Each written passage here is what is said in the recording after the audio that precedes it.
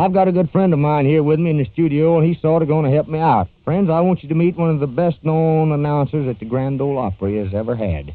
My very good friend, Grant Turner. Thank you a lot, Hank. I assure you, friends, that it's a real pleasure for me to be here with Hank and to help him tell you folks about something that he's worked up, which he has ready for the thousands of you people who've written in and asked for this help. Now, Hank, what you say? You tell the folks a little about what we have to offer them. I sure will, Grant, and I really do think an awful lot of people are going to be pleased to hear it. Friends, I have had thousands and thousands, and thousands of letters from you folks who have written in to me and asked me how you can go about getting a song published or how you can get an artist to record your song. Well, now, I'm sure that I can answer all your questions.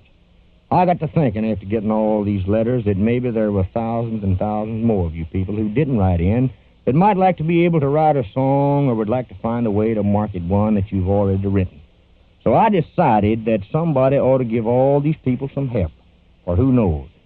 There may, there may be a great song out there somewhere in somebody's dresser drawer just waiting to be sung. Yeah, that's right, Hank. Now, tell them what you've done about it.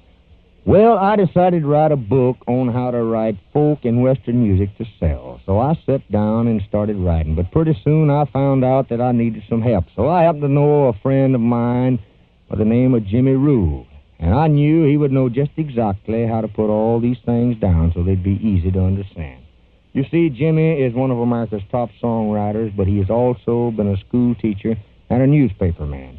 So we came up with this book. That's about the way it happened, wasn't it, Grant? Yes, Hank, that's about it. You had the ideas about how to help these people who wanted to write songs, and Jimmy helped out by putting it all together. And I'm telling you, folks, I don't say it because he's here in the studio with me. But I think that Hank Williams is one of the greatest songwriters that ever lived. And he really knows what a song has to have to make it click. And you know that yourself.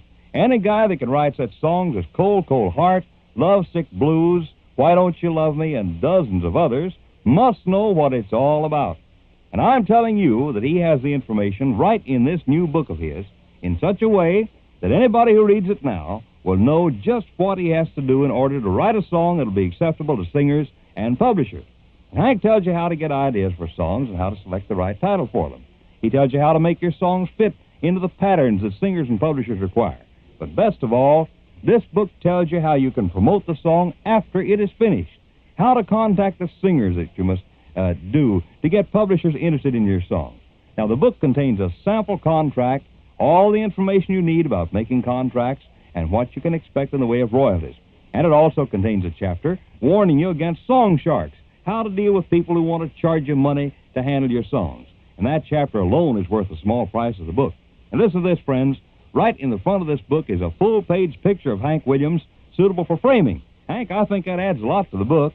Well, Grant, I don't know about that, but if any folks are bothered with crows getting in their corn, it might come in mighty handy to help scare them critters away. well, I think Hank's just being a little modest, don't you, folks?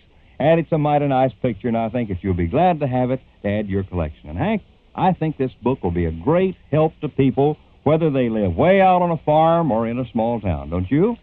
Well, I ain't bragging, but I think this book will be a godsend to anybody that wants to write songs wherever he lives. And it ain't just for people who want to make a business of writing songs, but for housewives, farmers, truck drivers, or anybody else that thinks he's got an idea that would make a good song. Yes, you're exactly right, Hank. I think that lots of folks have ideas that they could cash in on if they knew how to market their song. Now, suppose you tell the folks how they can get this book, Hank.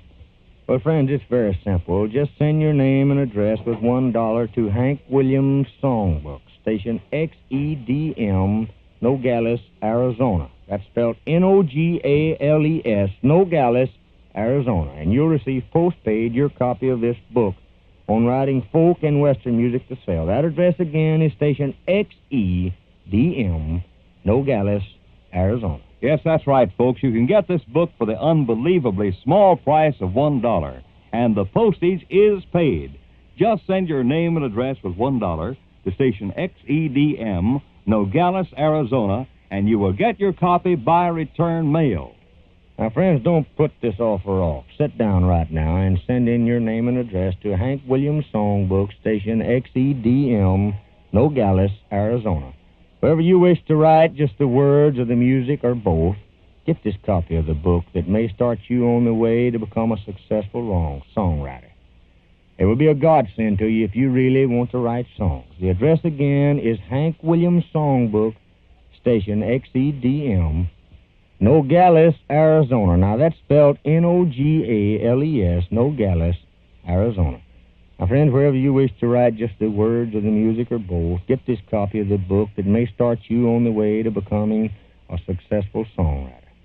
Now, it will be a godsend to you if you really want to write songs. The address again is Hank Williams Songbook, station XEDM, Nogales, Arizona.